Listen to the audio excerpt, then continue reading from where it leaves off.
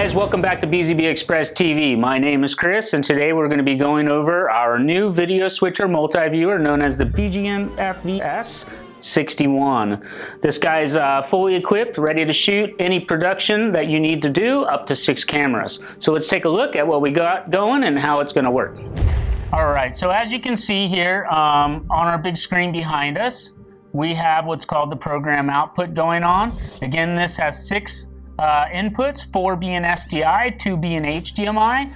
If you have a uh, situation where you only have HDMI cameras, you can always use an adapter uh, from SDI to HDMI or vice versa. Um, as well, we have two outputs for program output. That means the final cut version, what's going to be sent to your uh, software platform, whatever you may be using. Uh, in our case today, we'll be using OBS Studios. Uh, also has two multi-view outputs. Essentially, the multi-view outputs are for scene selection, so you can see which camera angles you're looking at, uh, what's showing up on the cameras, so you can select them prior to actually sending them to your program output. So as you can see, we have our SDI connection, as I mentioned, to the multi-viewer here.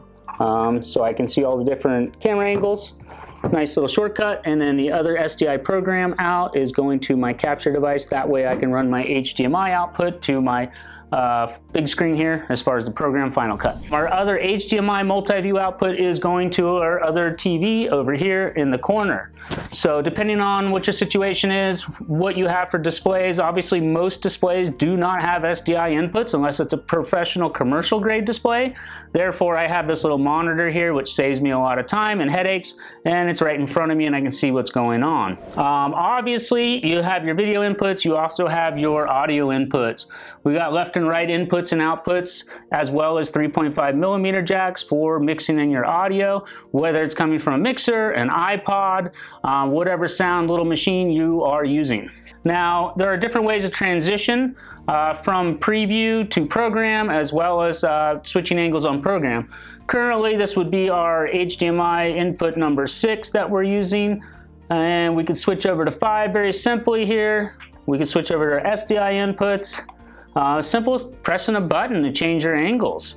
Um, as far as preview, we can look at our preview window under our multi-view monitor over here, or as I'm kind of looking at right here is my little monitor I explained a few seconds ago.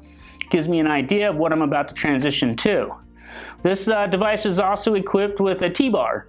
Uh, essentially, for those of you who are not familiar, it allows you to transition by just swapping this T-bar from your camera 1 to your camera 2, or you could select your camera 5 um, to 2. Essentially, you decide which angle you want to go to, whether camera 1 uh, to camera 4, camera 2 to camera 3, either way. You have all your buttons, your programs, your previews here to select that option. Uh, this guy also has a cool effect. It's got two different ways of doing effects. You have what's called uh, your wipe effect. So when you use this T-bar, you can go bottom to top, top to bottom, left to right, and right to left. So pretty cool little uh, deal there, as well as a mixing ability, meaning that if you want to transition slowly, using two images simultaneously, even creating a cool little illusion, you can do that. As you can see here, our cameras are blending. That's for a nice smooth transition.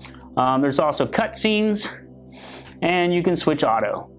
So pretty cool guy here, lots of little uh, neat features. Another cool functionality with this is picture-in-picture. -picture. So if you select a picture-in-picture -picture up here, let's go one, two, and as you can see in the top left corner, I was able to transition from our camera 1 to our camera 2 and removing the picture-in-picture. Uh, really nice to have a little effect like that for, uh, for your own monitoring or for sometimes you want to put maybe a choir up there, for instance, in a house of worship, and your main show is right here in the primary window.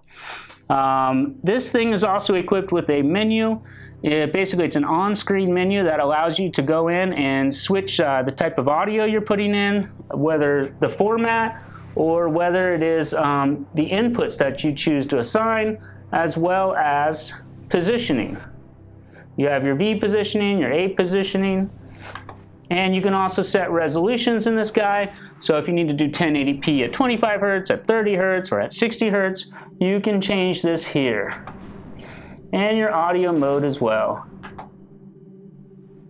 So pretty cool little unit here. As you can see, everything's set up really nice. It's convenient. I got my joystick controller in front of me, which enables me to basically control my um, camera here.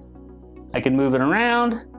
And so I've set up four cameras with my joystick, one through four. Uh, basically point at it before I select it. So if I have scene one and I don't like the camera and I'm on, uh, say, camera number two, I can switch over um, that angle of that camera on scene one, put it where I want it, and then I can just switch right back to it. Uh, pretty convenient function, very simple to use. Uh, this guy is very robust, compact, easy to carry. It even comes with a cool carrying case. Um, playing 1080p at 60 hertz, you really can't go wrong with this. Uh, pretty much anyone can use it. Just a little time on a manual, check out our video. It'll give you an introduction to how to connect everything, where everything goes, and uh, it's as simple as that, guys. So again, give us a call here at BZB Gear, BZB Express, if you have any concerns, issues, or questions about our BG-MFVS61. We're always here to help. We've got Steve Tech Support Department. Um, Chris here, again, feel free to give me a call by name if you got any questions or interested in a unit.